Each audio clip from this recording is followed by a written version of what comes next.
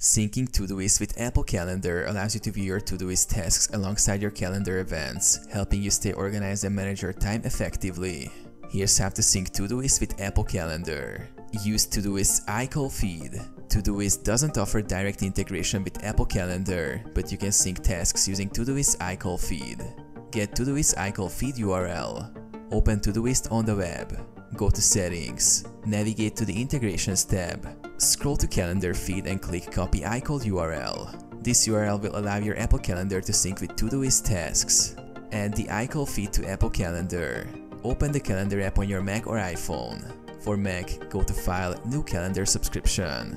Paste the Todoist iCal feed URL in the subscription field. Click Subscribe and choose your sync preferences.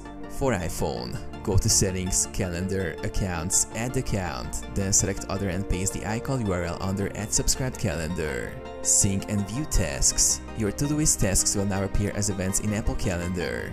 Any task with a due date will be displayed as a calendar event. Changes made in Todoist will sync to Apple Calendar based on the refresh interval.